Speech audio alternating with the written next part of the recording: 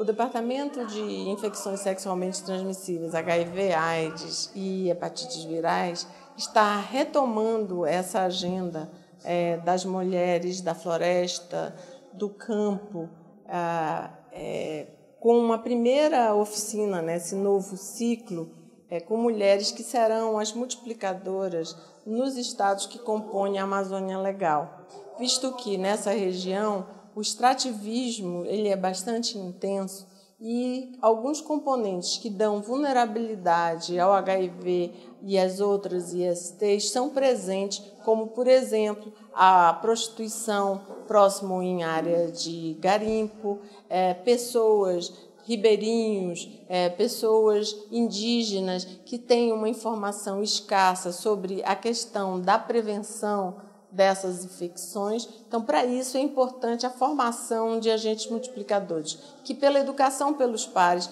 vão reproduzir é, o que se é, todos os conhecimentos que elas adquiriram durante essa oficina aqui em Brasília.